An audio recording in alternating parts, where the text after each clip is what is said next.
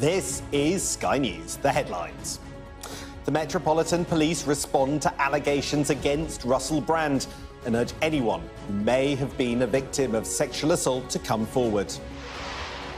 How an internal power struggle is hampering relief efforts in Libya amid desperate efforts to stop the spread of disease.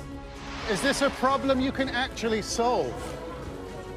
Growing pressure over Italy's migrant crisis as arrivals on one island almost doubles its population. Fresh doubts over the future of the HS2 rail link as the government fails to commit to extending the line.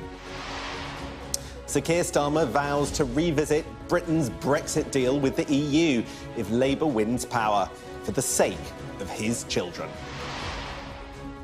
and retailers brace for a rise in shoplifting with new iPhones set to hit the shelves.